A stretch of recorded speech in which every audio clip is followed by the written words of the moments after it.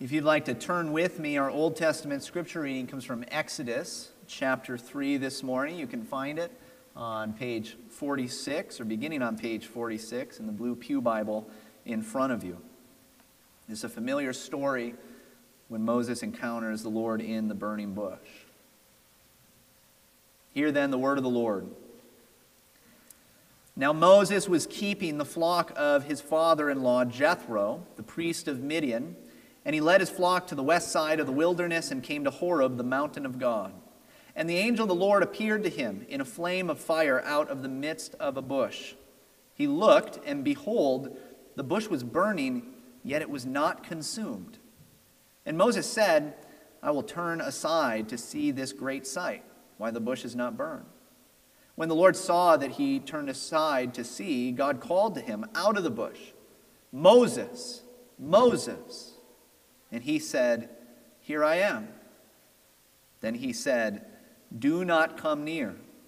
Take your sandals off your feet, for the place on which you are standing is holy ground. And he said, I am the God of your father, the God of Abraham, the God of Isaac, and the God of Jacob. And Moses hid his face, for he was afraid to look at God. Then the Lord said, I have surely seen the affliction of my people who are in Egypt and have heard their cry because of their taskmasters. I know their sufferings, and I have come down to deliver them out of the hand of the Egyptians and to bring them up out of that land to a good and broad land, a land flowing with milk and honey, to the place of the Canaanites, the Hittites, the Amorites, the Perizzites, the Hivites, and the Jebusites. And now, behold, the cry of the people of Israel has come to me, and I have also seen the oppression with which the Egyptians oppress them. Come, I will send you to Pharaoh that you may bring my people, the children of Israel, out of Egypt. But Moses said to God, Who am I that I should go to Pharaoh and bring the children of Israel out of Egypt? He said, But I will be with you. And this shall be the sign for you that I have sent you. When you have brought the people out of Egypt, you shall serve God on this mountain. Then Moses said to God, If I come to the people of Israel and say to them, The God of your fathers has sent me to you, and they ask me, What is his name? What shall I say to them? God said to Moses, I am who I am. And he said, Say this to the people of Israel I am has sent me to you. God also said to Moses, Say this to the people of Israel The Lord, the God of your fathers, the God of Abraham, the God of Isaac and the God of Jacob, has sent me to you. This is my name forever, and thus I am to be remembered throughout all generations. Go and gather the elders of Israel together, and say to them, The Lord, the God of your fathers, the God of Abraham, of Isaac, and of Jacob, has appeared to me, saying, I have observed you and what has been done to you in Egypt, and I promise that I will bring you up out of the affliction of Egypt to the land of the Canaanites, the Hittites, the Amorites, the Perizzites the Hivites and the Jebusites, a land flowing with milk and honey. And they will listen to your voice. And you and the elders of Israel shall go to the king of Egypt and say to him, The Lord, the God of the Hebrews, has met with us, and now let us go a three days' journey into the wilderness, that we may sacrifice to the Lord our God. But I know that the king of Egypt will not let you go unless compelled by a mighty hand. So I will stretch out my hand and strike Egypt with all the wonders that I will do in it after that, he will let you go. And I will give the people favor in the sight of the Egyptians. And when you go, you shall not go empty. But each woman shall ask of her neighbor and any woman who lives in her house for silver and gold jewelry and for clothing. You shall put them on your sons and on your daughters. So you shall plunder the Egyptians. This is the word of the Lord. Today we're focusing uh, on the doctrine of God, on the character and nature of God Himself. And if I'm honest, I think that I, as, and I think that we are actually quite inadequate when we come to such a topic. To seek to know God when we are finite creatures, when we are weak in various ways. It's it's, kind of futile in a certain way, at least if we try to do it on our own, right? Of, of ourselves. But at the same time, it's not futile at all. It would be if we were going at it in our own strength, right? According to our own knowledge. But the truth is that God has made himself known. That doesn't mean, however, though he's made himself known, it doesn't mean that we should just haphazardly waltz into thinking about God. We should not rush in with presumption, assuming that we know more or can know more than we do. In the passage we just read, we're shown something of the, the glory of God in the burning bush as the Lord appears to Moses. A burning fire that doesn't consume, that just keeps burning. Right? Fire gives heat, it gives light, it represents both destructive power as well as life giving warmth. But this fire that Moses sees, you notice it says he, he sees it, and it's after a time that he decides to go and actually investigate. Because he, he at first sees it and it's just a fire, right? It's a bush that's on fire. It might be strange where he is, but it might not be that strange. Maybe it was dry. Maybe it had been storming. Maybe there had been some kind of fires recently due to lightning strike. It might not have been that strange to him at first, but as he looks at it, he notices that it doesn't burn up the bush. The bush is still there, it doesn't go away. So it's a fire that burns, but it, it's not burning because of the bush. The bush is not the fuel for the fire. It burns all its own. And this tells us something about God Himself that He is not dependent on any other. God does not exist because we think He does, He does not exist because of us, He's not a construct of our own minds. He is self existent and not dependent on any creature. And this becomes even more clear as God shares his name, the name that he gives to Moses to share with the people of Israel. This was in verse 13. Moses asked him, If I come to the people, who should I say has sent me? And God said to Moses, I am who I am. And he said, Say this to the people of Israel I am has sent me to you. I am who I am, or it could technically be translated, I will be who I will be. The name that God gives for himself speaks to his total self existence. Right? You're completely dependent upon him for life. In him we live, move, and have our being. But he is. He has being in and of himself. He is not like us. In one way, his name reveals this about him, it, it reveals something about him to us. But in another way, even though he gives his name, it's still shrouded in mystery. It's not entirely clear. There's a level at which we simply cannot fully know God because he's God and we are not. Our knowledge is limited. His name reveals him, but it also conceals him in a certain way. It also speaks, I think, to the fact that God was going to show himself more and more over time. That as the people of Israel saw his mighty hand in bringing them out of Egypt, right, in bringing them to this same mountain in order to worship, in bringing them into the land of promise, and in the wilderness wandering, and in his judgment in exile. And on and on, the, the people of God would see his character over time. And over time, it would become more and more clear to them. Ultimately, this culminates in the person of Christ.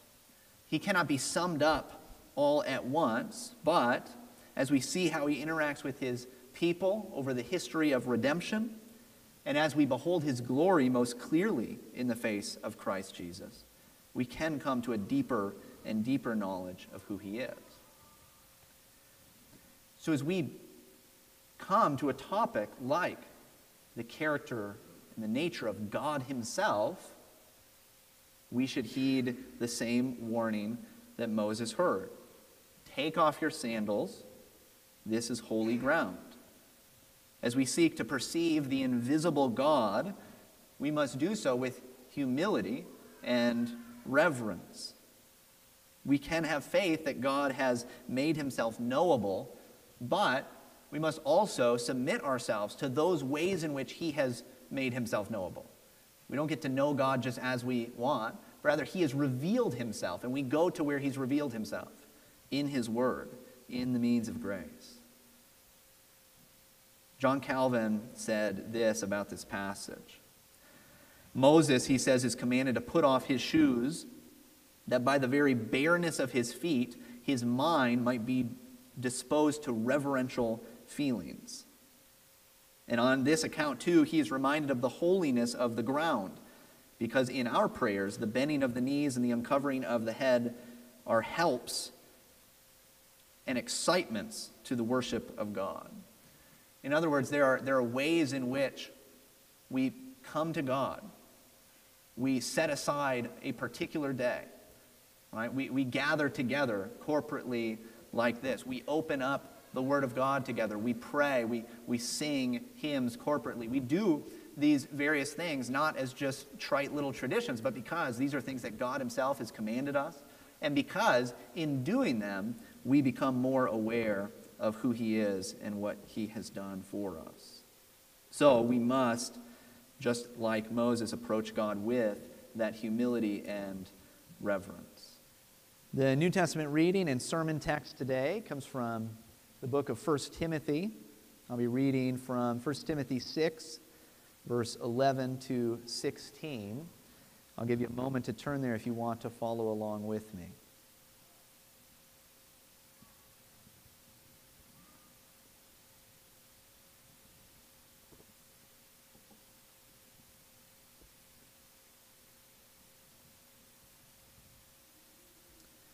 1 Timothy 6, beginning in verse 11. But as for you, O man of God, flee these things. Pursue righteousness, godliness, faith, love, steadfastness, gentleness. Fight the good fight of the faith. Take hold of the eternal life to which you were called, and about which you made the good confession in the presence of many witnesses. I charge you in the presence of God, who gives life to all things, and of Christ Jesus who in his testimony before Pontius Pilate made the good confession to keep the commandment unstained and free from reproach until the appearing of our Lord Jesus Christ, which he will display at the proper time. He who is the blessed and only sovereign, the King of kings and Lord of lords, who alone has immortality, who dwells in unapproachable light whom no one has ever seen or can see. To him be honor and eternal dominion. Amen. This is God's holy and inspired word for us this morning. Well, today we are uh, beginning a new sermon series that I think will take us pretty much through the whole year. We're going to be uh, using as a starting place the Apostles' Creed, the Ten Commandments, and the Lord's Prayer. These will become basically an outline for us as we're moving forward. And I'm still intending um, that I, and once a month at least for the next few months, as Matt still comes and preaches, I'm intending that we would still more or less preach from one particular text, although it may be a little bit more than that. But these would provide more or less the spine, if you would, that would hold everything else together. It seems right to me that as we as a church are kind of moving into a new season, that we kind of pull back a little bit and we return to what are the, the foundations of the faith, the foundational truths. And historically, the Christian church has used these three things for discipleship. This has been the standard of discipleship. Almost every catechism that you'll find from any uh, you know, Orthodox lowercase o tradition will outline in some way these three things a summary of doctrine in the Apostles' Creed, a standard for the way that we are to live as Christians in the Ten Commandments, and then really the heart of true spirituality, the heart of, of prayer and communion with God in the Lord's Prayer. Now, the Apostles' Creed does not come straight from the apostles themselves. Some early church fathers had this idea uh, that maybe it went all the way back. but it is extremely early. We know that uh, even in the second century, it was used um, as part of the uh, baptism of new converts uh, or something very similar to it. And then over time, it, it may have been changed slightly. But we call it the Apostles' Creed because it summarizes for us apostolic doctrine, apostolic teaching. What did the apostles teach? What do we have in Scripture that they taught? Well, if we put it all together, the central truths they taught can be summed up in the Creed. And the Apostles' Creed begins, I think most of us know it, with I believe in God the Father Almighty, maker, maker of heaven and earth. And so this is where we're starting. We're not going to take all of that at once. It's somewhat hard to decide, even for me anyway, where to begin. Where do you start with something like this? And so I thought it was proper that we start with God Himself. We start with the character and person of God. I believe in God. Some earlier versions of the Creed would say, I believe in one God, and then go on to say, Father, Son, Holy Spirit. In many ways, the doctrine of God has fallen on hard times. I'm convinced that most of us, even in the church, have a really casual view of God. We believe in what some have called divine mutualism. Right? We and God, we are mutuals. He's like us. He just happens to be bigger, stronger, smarter. He's better. But he is totally comprehensible. We think that we can relate to him as if he were just a friend, one of our buddies. We're casual and flippant. We're irreverent often in how we treat him. And this, I think, is even a danger in our own church, in our own tradition, though we do generally have a very high view of God. I think what can happen sometimes is we, we learn about the attributes of God, we learn a lot of theological terms about God, and then we think we've covered it. Right? God becomes a kind of a topic that we can discuss and figure out, and then we're done. We've, we've found him out. We make our own boxes and categories for God to fit into, and in doing so, try to limit him, try to control him. But ultimately, the creature cannot control or limit the creator. So we're going to look at 1 Timothy here, mostly a portion at the end of what we just read. And uh, particularly, we're going to look at four different aspects to the character of God and then what our proper response to Him should be. These different aspects of God are His sovereignty, His immortality, His ineffability, and His incomprehensibility. We have all of these here in 1 Timothy. So let's start with this God is sovereign. Paul gives this final charge to Timothy here to keep the commandment unstained and free from repro- reproach until the appearing of the Lord Jesus Christ. And then he moves into marveling at the nature of God. And it leads to praise, right? It leads to doxology at the end. But he, he breaks out into this kind of doctrinal declaration of who God is. And he begins by saying, He who is the blessed and only sovereign, the King of kings and Lord of lords. Paul exclaims that God is sovereign. He is the sovereign. He is supremely blessed, he says, or, or supremely happy. When we think of blessing, it's usually in terms of our blessing, right? That, that we are blessed, that God blesses us. It's something that we receive, it's something that God gives. But God is blessed. And this is what I will come back to over and over again that, that we receive from Him, we take part in His blessing, right? But it, it comes to us from Him. He simply is the blessed one all goodness and happiness and joy. All things come from him and are for him, and so he is not in need that something should be added to him.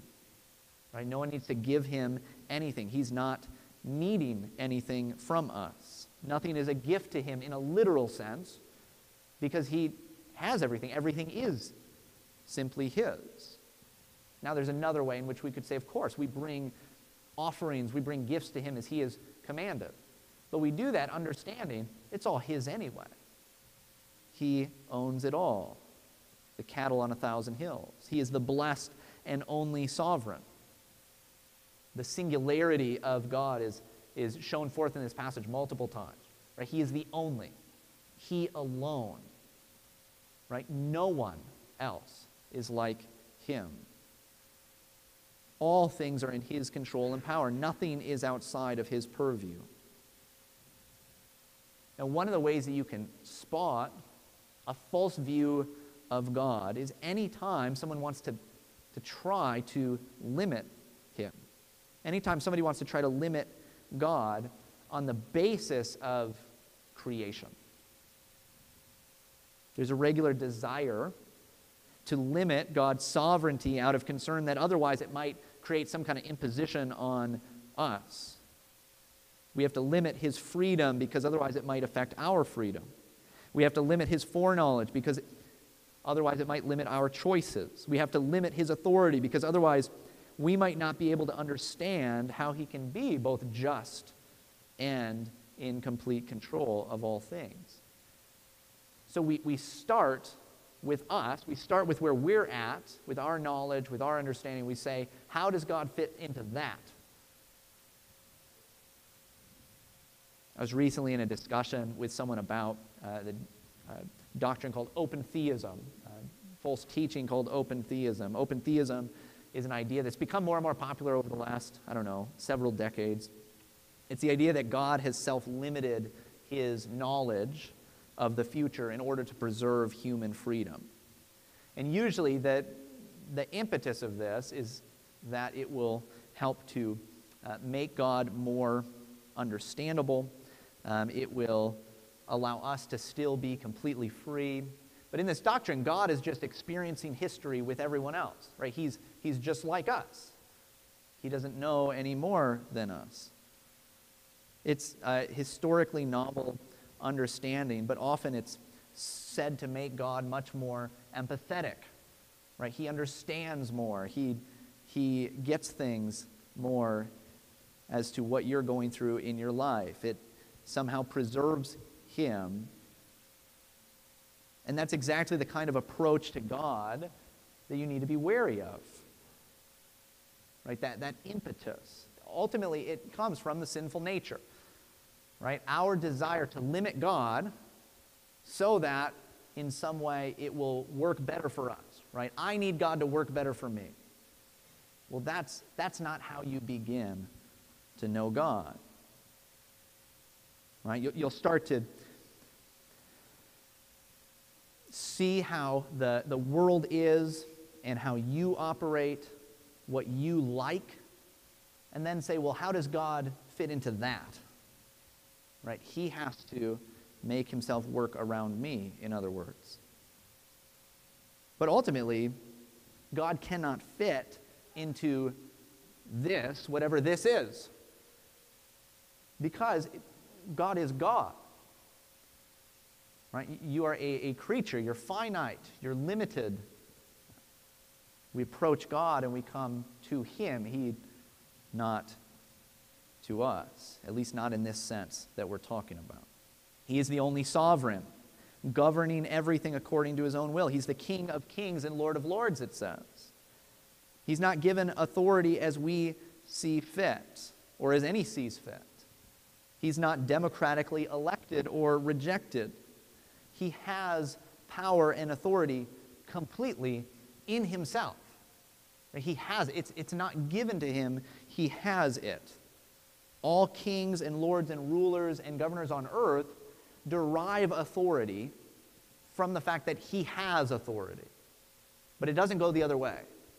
He doesn't gain authority when somebody in power says we should worship him as God. He is God either way. He has power and authority either way. It's just a question of whether or not you recognize it.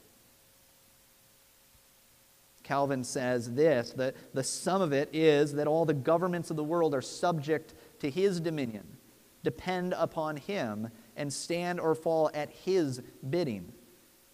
but that the authority of God is beyond all comparison, because all the rest are nothing as compared with his glory.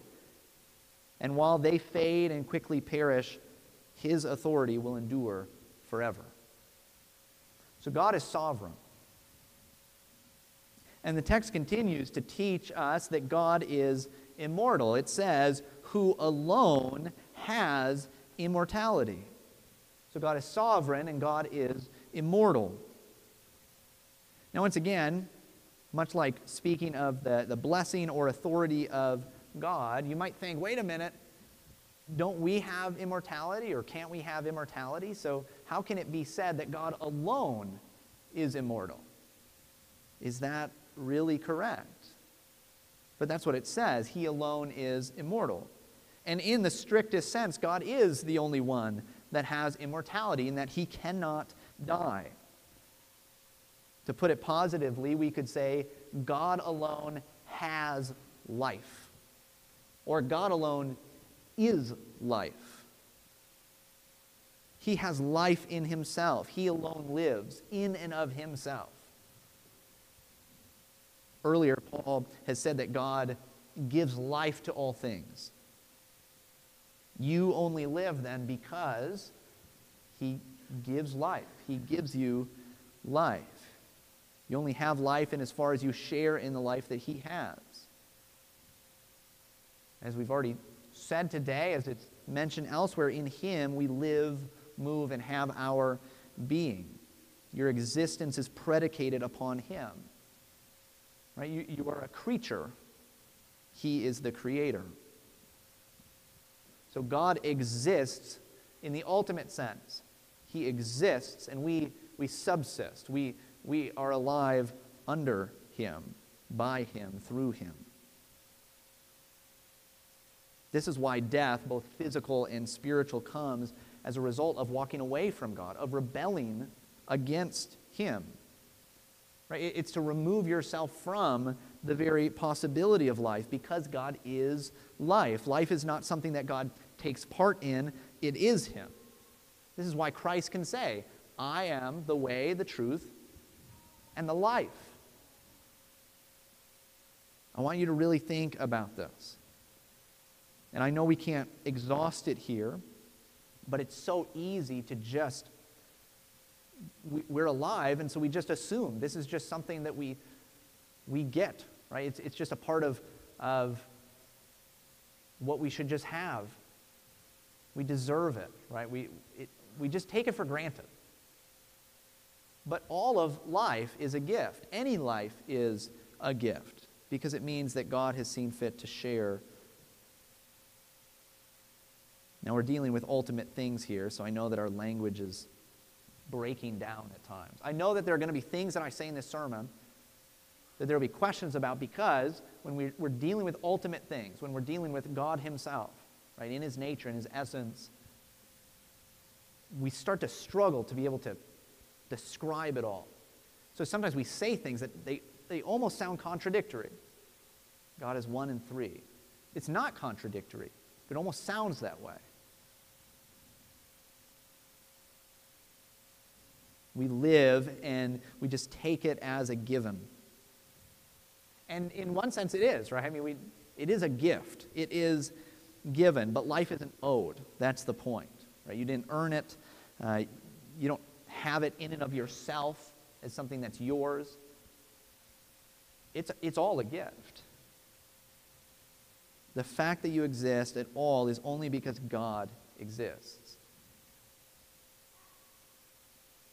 If you share in the divine nature, because you've been united with Christ, you are immortal in the sense that you have eternal life.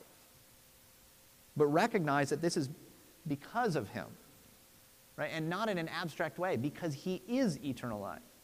If you've been a part of the, the Thursday night Zoom Bible study, we've been working through 1 John. And in 1 John, eternal life is personified because Christ is eternal life. Right? It, eternal life is not a thing that God gets and then gives as much as it's Him. Right? It's to, to know Him, to be united to Him. That is to have true life. You participate in him and so haven't. He is your life. And when we appear with him, when he appears, rather, we will also appear with him in glory. So God is sovereign and God is immortal. He is. Right? He doesn't get those things. It's not like us. He is sovereign. He is immortal. And he is ineffable. Ineffable describes something that is too great or too extreme to describe in words. And it's what I'm going to try to use as the word to describe what Paul is communicating here when he says that he dwells in unapproachable light. God dwells in unapproachable light. Another way I could have said this is that God is unapproachable. And that's true in a sense. I just don't want you to get the wrong idea because we can approach God. This, this is part of the, the miraculous nature of the incarnation that Christ has come and dwelt among us, and through him now we can know and behold the living and true God. But in his, in his essence, ultimately, we will never know God fully. We'll go on knowing him more and more forever, but we, we cannot know him fully because he is God. There will always be limits on us. And in that sense, God is unapproachable. In his being and essence, you cannot approach him. The more you know God, the more you can know him, and also the more you're aware that you do not fully know him. All at the same time. The fact that God dwells in unapproachable light tells us something of the ineffability of his nature. You're not going to be able to describe him fully, nor can his essence be described fully by words alone. Our words will always fall short of his glory. All analogies fall apart ultimately because they, they can't, creation, which we take analogies from, cannot fully describe the Creator. But they can help. Right? And, and God does this throughout Scripture. He, he uses analogies from creation to try to help us move in the direction of understanding Him more. God is like the sun, then.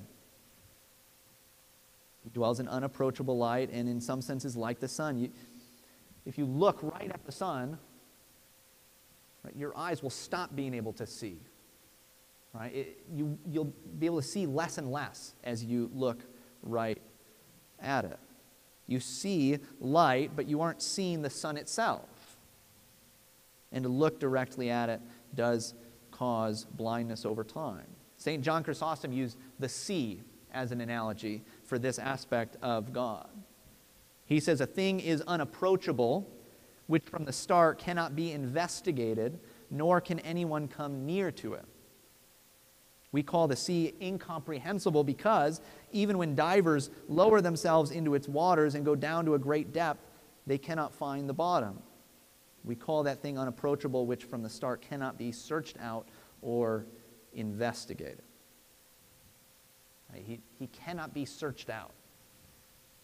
God is unapproachable or ineffable, as I'm saying, in that the closer you try to get to Him, the greater you recognize He is the less you feel that you can grasp him, the more you know him. God defies your categories. As we speak about him, we must know that what we say is it's always inadequate. We, we often can know God more than we can communicate, and we, we know him less than he is. So our words are always going to be inadequate to a certain extent. Paul often spoke about the nature and character of God. He does so here, right? He speaks about who God is. And yet, when he was taken up into the third heavens and saw the glory of God, he comes back and he says that he heard things which cannot be told, which man may not utter. Right? That, that there's this level of, of knowing and experiencing God that he, he can't even begin to communicate. This is what I'm calling the ineffability of God.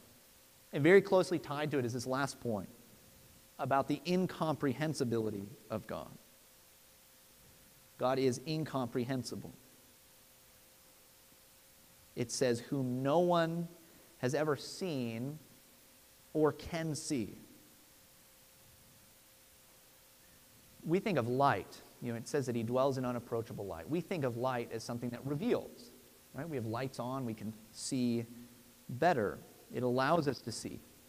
But the light of God's glory, the light he's concealed in, we're told is like thick darkness. The glory cloud that surrounds God often appears as a cloud. This light is so much and so bright that it actually doesn't allow us to fully see. God is spirit, and so he is invisible, not seeable, which means you cannot fully perceive him. It means you cannot fully comprehend him. You cannot fully grasp or understand God. Again, because you're, you're a finite creature, you are, you are limited in what you can do. You cannot fully grasp the infinite. Imagine for a moment that you had a teacup in your hand and you went out beside the ocean and you thought, I'm going to get it all in here. I'm going to put the whole ocean in this teacup. It's an obvious absurdity. Even if we started smaller, right? You just go out to the river right next door here. Well, you can't, you can't even begin to fill up that little cup. This is what it's like to, to think that we would, we would totally grasp, totally comprehend the infinite God. Or imagine, if you would, that you set out to comprehend simply all the, the words that have been written that is a much smaller task than trying to comprehend God. But start to think about it. And I know this seems like it's absurd to even think about. Obviously, you couldn't do that. But actually think about it for a moment. Just start in front of you. Right? If you just set out right what's right in front of you, you've got a Bible, you've got the Trinity hymnal. If you just set out to say, I'm just going to memorize every word here, I'm going to totally comprehend eh, understand, memorize all of these words. Right? That would take most of us, maybe the rest of our lives. But let's just say that you could. You could take care of that. Okay, now, like, just move out to the church. Right? Think about all the books in the library, in my library. Think about all the different things that might have written words on them just in this building. I don't think that we could get out of this building in our lifetime if we wanted to full, again fully comprehend. But let's say that you had a photographic memory and somehow you were able to get out of this building.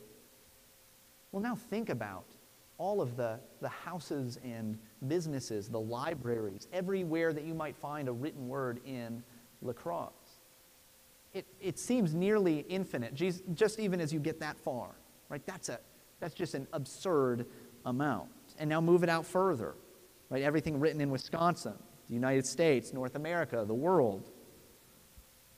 Now add everything that's just ever been written. Right? Think through all of history, written on stone tablets or the walls of caves or papyrus or parchment or vellum or paper. Think about all the books, all the flyers and newspapers and magazines. Now think about every word that's written online, right? Every blog, every article, every tweet. You can't even begin to comprehend the words written.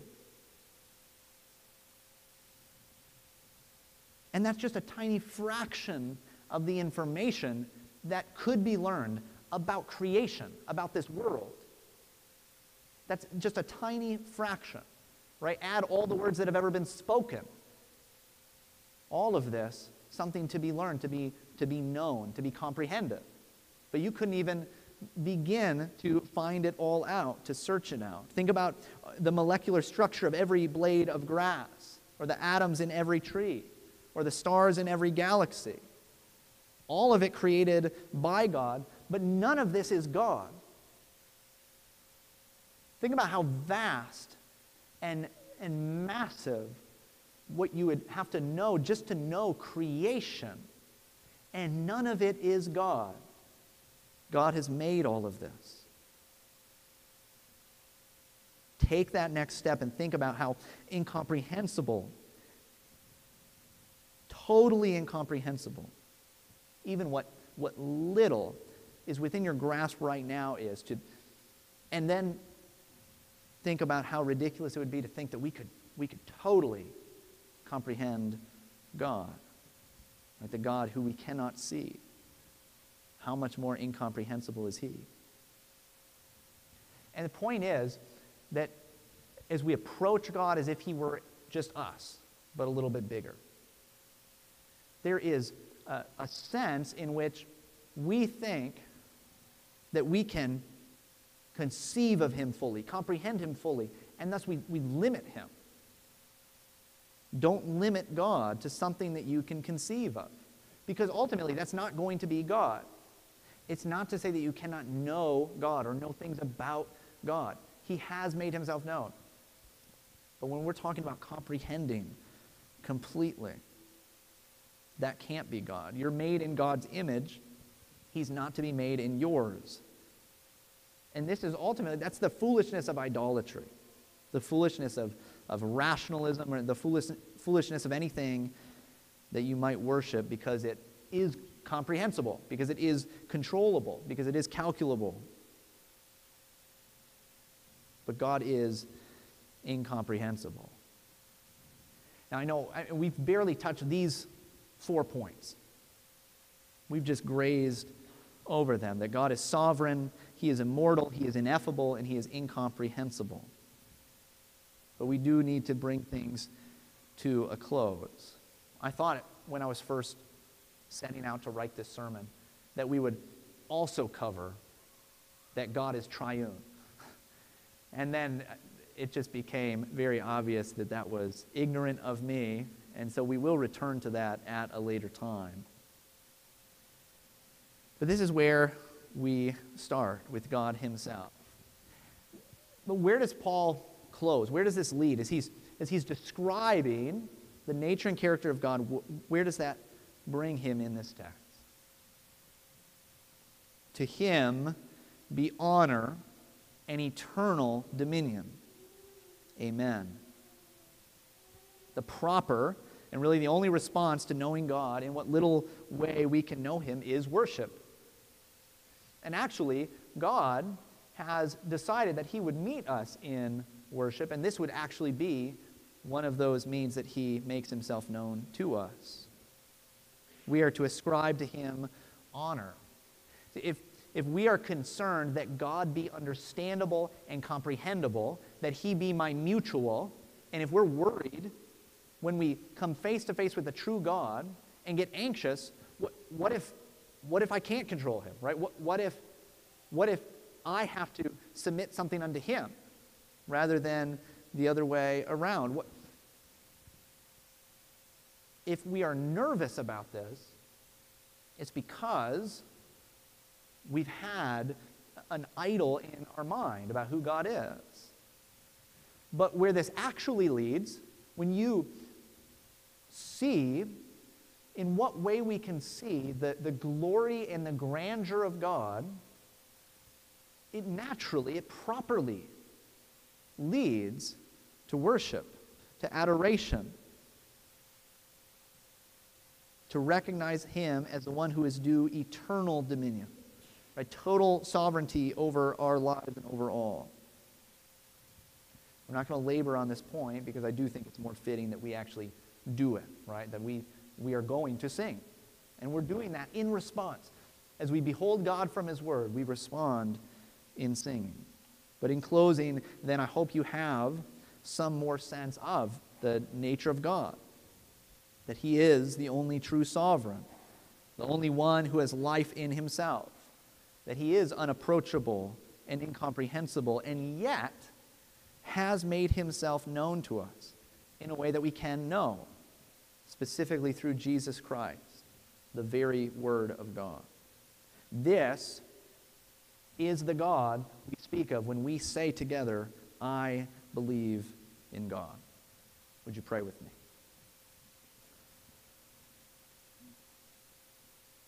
Lord God, we do pray that as we have heard your word, that you would humble us, that it would not be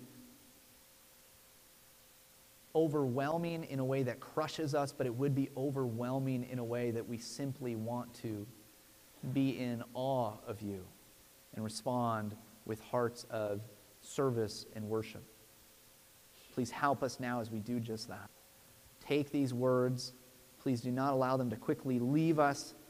Rather, take your word and plant it deep within our hearts that it might grow up and produce much fruit for you. In Christ's name, amen.